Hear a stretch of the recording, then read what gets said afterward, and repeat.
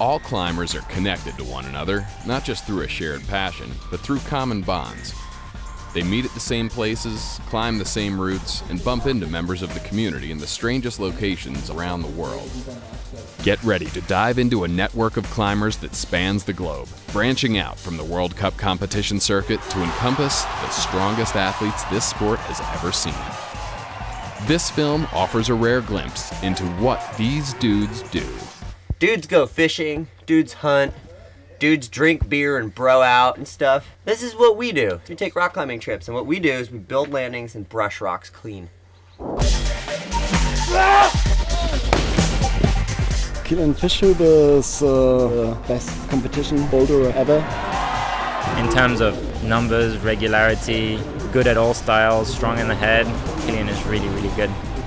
When we trained with Daniel, it was obvious from the beginning on that it is one of the best boulderers on rock.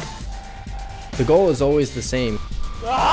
Whether you're with friends or, or you're by yourself, it's just to get to the top of the boulder. Keep going, dude. We meet up and climb with each other, and we also go our separate ways, but we're all passionate about the same thing, which is going out and trying to send hard boulder problems. That right there kind of like is like the unspoken concept of the network.